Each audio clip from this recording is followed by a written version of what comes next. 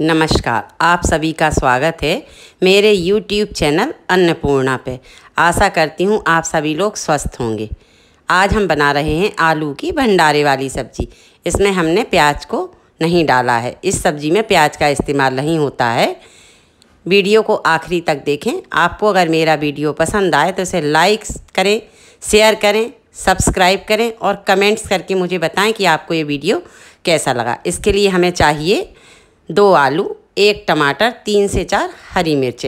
हरी मिर्च छोटी हैं, इसलिए मैंने इनको साबुत ही रखा हुआ है।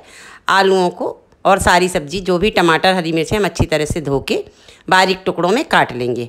आलू को हमने वॉश करके काट लिया है। इसके बाद सूखे मसाले जो हम इसमें डालेंगे, हल्दी मिर्च, धनिया, काली मिर्च पाउडर, खटाई, जीरा और लाल मिर्च पाउडर। इसमें हम थोड़ी सी हींग भी डालेंगे।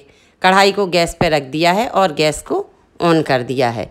कढ़ाई गर्म हो जाएगी, तब हम इसमें ऑयल को डालेंगे। ये देखिए, ऑयल डाल दिया है। ऑयल जैसे ही गर्म हो जाएगा, तब हम इसमें थोड़ी सी हींग डालेंगे और जीरा डालेंगे। हींग डालने के बाद हम इसमें जीरा डालेंगे और जीरे को चटकने देंगे। जीरा अच्छी तरह भुन जाएगा, तब हम इसमें हल्दी पाउडर डालेंगे। जीरा भुन गया है, अब हम इसमें हल्दी पाउडर डालेंगे। हल्दी पाउडर को भी हम भुनने देते हैं। हल्दी पाउडर भुल जाएगा, तब हम इसमें कटे हुए आलूओं को ऐड करेंगे। इसी वक्त हम इसमें नमक भी डालेंगे। आप भी इसी समय नमक डालें, क्योंकि नमक आलूओं में अच्छी तरह से एडजस्ट हो जाए। नमक स्वाद के अनुसार ही डालना है। आलूओं को हम नमक, हल्दी और जीरे के साथ दो मिनट तक भून लेंगे। उसके बाद हम इसमें पानी को ऐड करेंगे। जो हमने सूखे मसाले रखे हुए हैं, वो हम आलूओं को पकने के बाद डालेंगे। अभी हम आलूओं में पानी डाल के ढक के ऐसे ही आलू पकाएँगे। जब हमारे आलू पक जाएँगे, तब हम सूखे मसाले डालेंगे। अब हम इसे पानी ऐड करने के बाद ढक के दो मिनट पकाएँगे। आलू अच्छी तरह पक जाएगा, तब हम सूखे मसाले डालेंगे। इसमें हमने एक कप पानी डाल दिया है, आधे कप के करीब पानी और डालेंगे। सब्ज़ी को गाढ़ा ही रखना है, इसलिए पानी की मात्रा अधिक नहीं होनी चाहिए। अब हम इसे ढक के पका लेंगे। जैसे ही खोल आ जाएगा, हम इसको ढक देंगे और ढक के पकाएँगे। सब्ज़ी ढक के पका ली है। अब ये देखिए, हमारे आलू हो गए हैं। सब्ज़ी अभी थोड़ी पतली लग रही है क्योंकि इसको आलूओं को हम मैश करेंगे, इसमें टमाटर, हरी मिर्च भी डालेंगे। ये देखिए, अब हम सूखे मसाले जो हमने निकाल के रखे हुए थे, वो हम इसमें ऐड किए देते हैं।